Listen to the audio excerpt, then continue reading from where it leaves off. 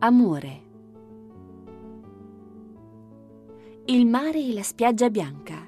Il vento solletica con un nero arabesco la mia guancia accaldata.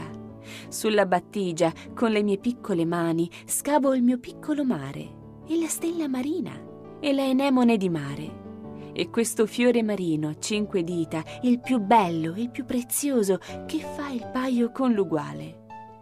Il quale, paziente, mi libera dalla sabbia invadente.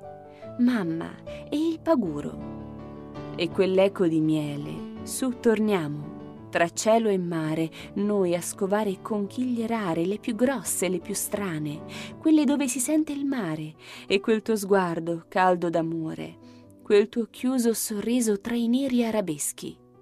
Domani facciamo un bel castello? Oh tesoro, domani, domani.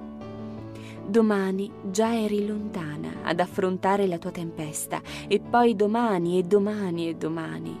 Ma ritornasti vento in poppa, dita sottili e un pallido sorriso. Costruimmo insieme un magnifico castello che scintillò al sole per molti domani e dopo di allora altri ancora.